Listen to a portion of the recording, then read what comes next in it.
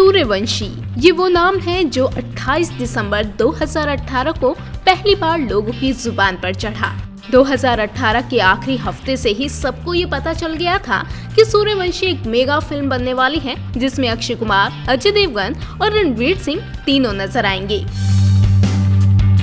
दरअसल रणवीर सिंह की film Simba के अंत में सूर्यवंशी की पहली झलक दिखाई गई थी लोग झलक देखकर काफ़ी एक्साइटेड भी थे।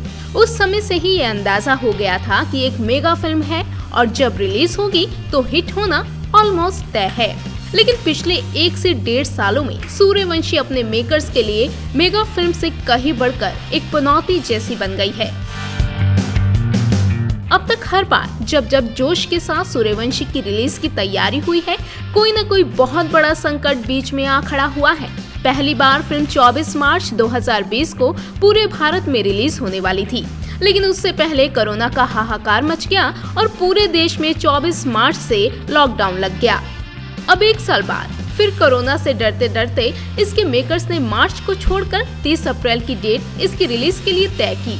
लेकिन बदकिस्मती का आलम देखिए जैसे ही सूर्यवंशी रिलीज़ का ऐलान हुआ, आश्चर्यजनक तौर से कोरोना के केसेस एक बार फिर से बढ़ने लगे। आखिरकार महाराष्ट्र सरकार को 30 अप्रैल तक पार्शियल लॉकडाउन का ऐलान करना पड़ा और मजबूरी में एक बार फिर सूर्यवंशी की रिलीज़ डेट टाल दी गई है। सूर्यवंशी की नई रिलीज़ डेट क्या होगी, इस पर भी अभी मेकर्स कुछ नहीं बोल रहे हैं। वहीं मार्केट में इस बात के भी कयास लगाए जा रहे हैं कि अब मेकर्स बस किसी तरह सूर्यवंशी पर लगाई गई लागत को निकालना चाहते हैं और वो इसे किसी भी ओ टी प्लेटफॉर्म पर बेचने की बात पर भी विचार कर रहे हैं। ज़ाहिर सी बात है कि सूर्यवंशी में प्रोड्यूसर्स का पैसा पिछले डेढ़ साल से फंसा हुआ है। जब 2019 में सूर्यवंशी बन रही थी तो उस वक्त माहौल कुछ और ही था।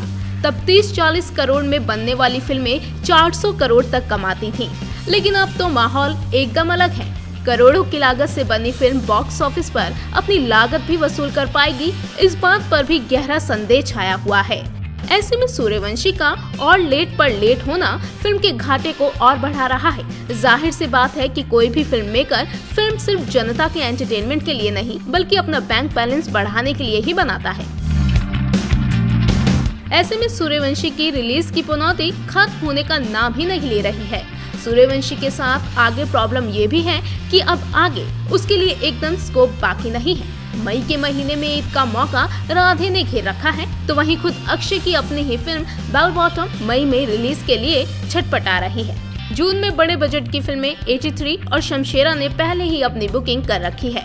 तो जुलाई में तो के जी एफ़ टू गंगूबाई और प्रभास की राधे श्याम जैसी बड़ी फ़िल्मों ने अपना धावा ठोक रखा है। ज़ाहिर सी बात है कि 30 अप्रैल को सूर्यवंशी का रिलीज़ ना होना उसके लिए आगे भी मुश्किल बढ़ाएगा ही बढ़ाएगा। अब देखना ये है कि इसके मेकर्स आखिर क्या फैसला लेते हैं। क्या सूर्यवंशी चुपचाप अब ओटीटी पर रिलीज़ कर दी जाएगी या फिर एक बार फिर से इसे थिएटर में रिलीज़ करने की हुंकार भरी जाएगी? बॉलीवुड की latest news gossip film reviews song reviews के लिए सब्सक्राइब करें हमारे चैनल क्रेजी फॉर बॉलीवुड को।